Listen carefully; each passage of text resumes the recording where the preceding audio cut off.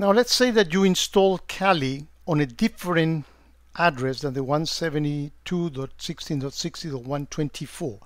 So here are the changes that you need to do. Not difficult, just extra steps. So I'm opening a command window in here and I'm going to do sudo su, put in my password and I'm here and I'm going to generate the mylove.exe and what you need to do is invoke a program called msf venom. And then you need to specify dash a the architecture. And it's going to be for 32 bits. The first one I'll show you in a minute for 64 bit and then you put dash dash and the type of attack. And again I'm not gonna spend too much time in, on this but uh, specify that this is Windows Meterpreter uh, reverse TCP reverse underscore TCP that's the type of exploit you're going to be doing. And then you put L host the local host that this this is going to make the callback to is going to be and again in my case was 172.16.60.124 you put whatever address you have in there and I'm using the port. Probably you need to change the port. I'm going to use the port 443 right? And then you specify that the type of file that you are creating is an executable. More on that later. Because we're going to do it in mylove.exe and you're going to redirect that into the program. Uh, call it whatever you want to call it you know. I'm going to keep it the same. Mylove.exe right? When you invoke that program if I type all these right not obviously and it's complaining about the double P and, and these are the things that keep on changing. I mean uh, for the 64 bit I have to put double P but uh, so you hit that command just like that. Let me make sure I highlight it. And it created that executable file. Now you have it here.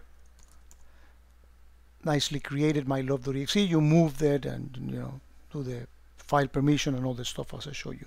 So if you want to run the calc.exe that you needed also, is we want to run this program and make it look like it is calc.exe, all you need to do is go here to the end because it's actually the same executable, it's under a different name and you call it calc.exe and that will generate that one.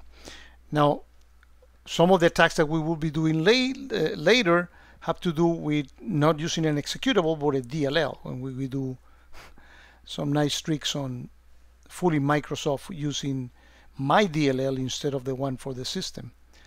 So what you need to do is put here instead of executable you put DLL then we're going to call these And then we put the DLL in a directory that is where the program is executed and that fools Microsoft into looking not into the official DLL but into the one that we put in there. So that is created there. Finally, if you are doing attacks on the Win 10 machine, you need the 64 version of this. So it's basically the same commands, uh, but you put here, are two things you need to change. In here you need to put x64 of course and then I'm pretty sure you need to put a double dash in here but uh, let's wait on that and then you put here on the path that is uh, x64 and you hit enter. And if this fails is because it needs a double no actually it, it created. It again sometimes when I have run this I need to put the double P in there. Same thing for all the other commands this is how easy it is for you to create your executable that is going to be downloaded on a on a word macro is going to be on a click or whatever it is. But this is what's going to initiate the first session to the Kali machine. And don't forget to do the change mode that I show on the installation of the Kali machine at the end of it to make it uh, and, and the, I, I, did a change mode. Uh, I'm also I need to tell you how to change the resource file. Ch mode uh, of all these executables. Actually and this is way too much access. Ch mod actually. 1777 that's you know even the sticky bit everything in there.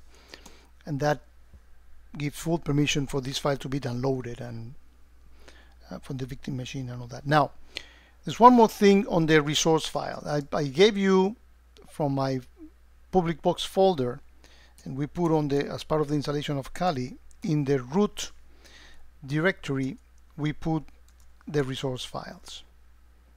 Actually I should have moved the uh, Jose.64 as well. I only moved this one. But you can see that it's as easy as editing this file. If you're going to change the IP address and all you need to do is go here and basically change and put the IP address that you did. That's all you need to make these attacks work in whatever IP address you chose for your Kali installation.